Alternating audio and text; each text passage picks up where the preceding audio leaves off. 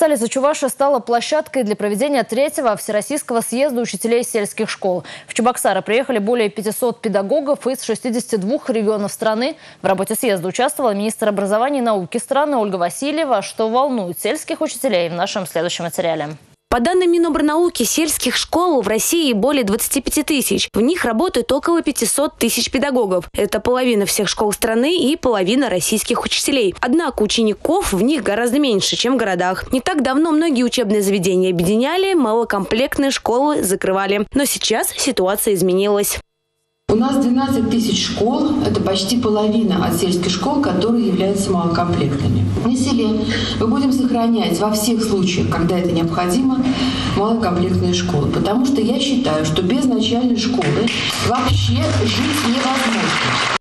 В этом году в школах страны появится 12 новых сельских школ. Но все-таки основная проблема не материально-техническая, а кадровая. Многие учителя вынуждены вести сразу несколько предметов, работать одновременно с разными возрастными группами. Одним из путей решения задачи министр видит разработку отраслевой программы, аналогичной земскому доктору. Пока же регионы ищут свои способы. К примеру, Чувашия в этой области добилась немалых успехов. Во многих районах республики учителя получают дополнительные выплаты. Построено 9 сельских школ касаясь сельских школ, мы последние годы создавали комфортные, благоприятные условия для воспитания и обучения как в городских округах, так и в сельской местности. Наша задача, участвуя в федеральных программах, создавать максимальную благоприятную среду.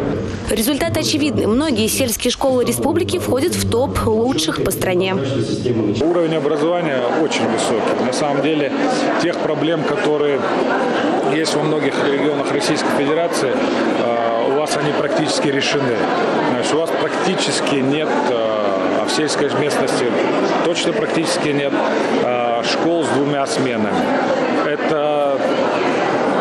Будущее, так скажем, это задача ближайших лет по всей Российской Федерации, которая уже в регионе решена. Своими идеями и практиками поделились представители и других регионов страны. У нас большое количество школ и интернатов. А, проходят на самом деле практику в оленеводческих бригадах, в рыболовецких бригадах, на других предприятиях АПК. И это взаимодействие построено долгосрочной конструктивной основе. У нас ежегодно несколько сотен детей проходят такую практику и потом становятся а, ну, полноценными работниками уже а, предприятия агропромышленного комплекса. И в этом мы видим а, мощный стимул для развития села. На съезде работали пять дискуссионных площадок, где обсуждались основные проблемы образования на селе. По итогам заседаний были приняты соответствующие документы и обозначены направления дальнейшей работы.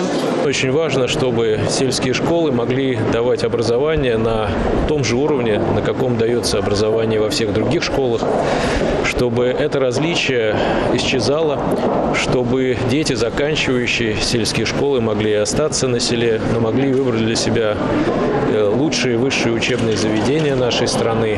Татьяна Леонтьева, Андрей Шоклев, Республика.